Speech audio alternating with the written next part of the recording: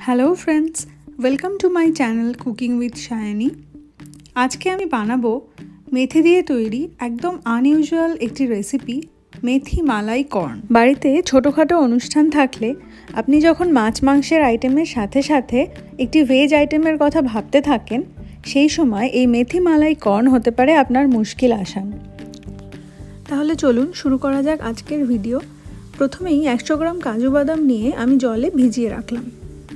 এখানে এক আটি মেথির শাক আছে। এবার আমি শাকটাকে খুব ভালো করে ধুয়ে বেছে নেব। এই শাকে খুব মাটি থাকে, তাই জন্য রান্না করার আগে ভালো করে ধুয়ে নেওয়া দরকার।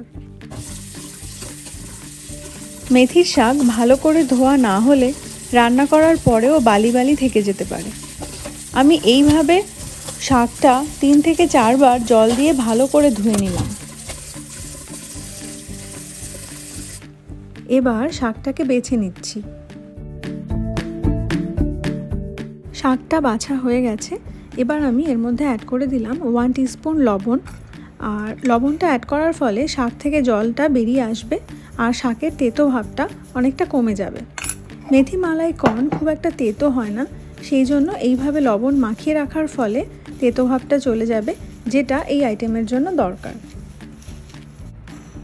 এইভাবে মেথির শাকটাকে আমি পনেরো মিনিটের জন্য রেখে দিলাম। এবার ভেজানো কাজু বাদামগুলোকে বেটে নিচ্ছি। এরপর একটা কড়াই গরম করে তার মধ্যে দিয়ে দিলাম তিন টেবিলস্পুন সাদা তেল। তেলটা এবার গরম হয়ে গেছে। এবার আমি ফোড়নের জন্য দিয়ে দিলাম ওয়ান টিস্পুন গোটা জিরে। দশ পনেরো সেকেন্ড লো ফ্লেমে গোটা জিরেটাকে ফ্রাই করে নিলাম। এরপর এর মধ্যে দিয়ে দিলাম পেঁয়াজ কুচি। এখানে একটা বড় সাইজের পেঁয়াজ আমি একদম মিহি করে কুচিয়ে রেখেছিলাম। এবার মিডিয়াম ফ্লেমে প্রায় দশ মিনিট পেঁয়াজটাকে নেড়ে চেড়ে ভাজতে হবে। পেঁয়াজটা ভাজতে ভাজতে পেঁয়াজের কালারটাও চেঞ্জ হয়ে যাবে আর পেঁয়াজটাও সফট হয়ে যাবে। পেঁয়াজটা ফ্রাই হতে থাকুক।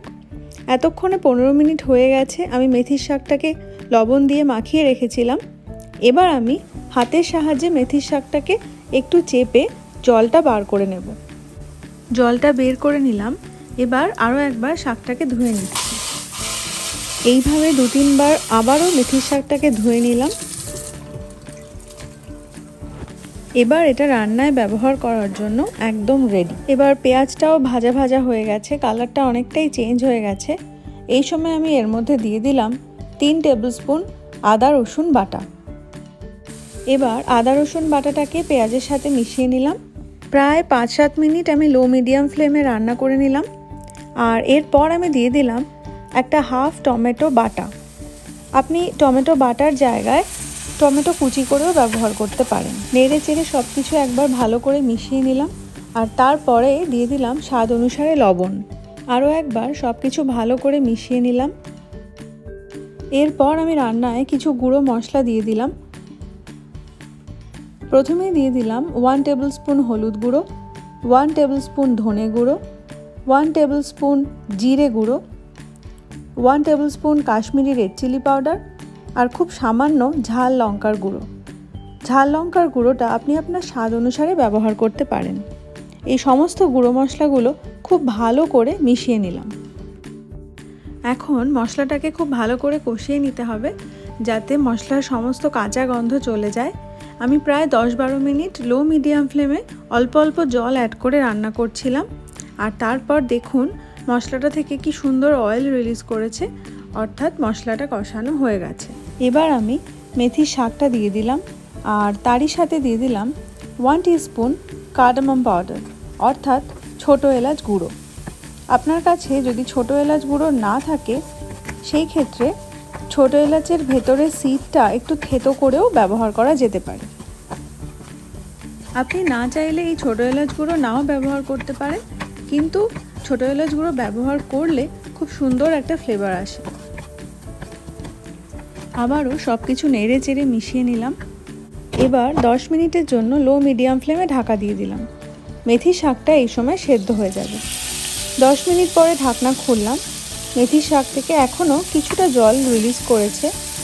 এবার আমি অ্যাড করে দিলাম ফ্রোজেন কর্ন এখানে ফ্রেশ কর্নও ব্যবহার করা যেতে পারে। তারপর দিয়ে দিলাম কাজু বাদাম বাটা। সব কিছুকে আরও একবার একটু মিশিয়ে নিলাম আর তারপর মিক্সের কন্টেনারটা ধুয়ে একটু জল অ্যাড করে দিলাম। এখানে আমি প্রায় দেড় কাপ সুইট কর্ন নিয়েছিলাম আর এখন জল দিয়ে দিলাম তিন কাপ ফ্রোজেন কর্ন সেদ্ধ হতে খুব একটা সময় লাগে না। সেই জন্য আমি তিন কাপ জল দিলাম।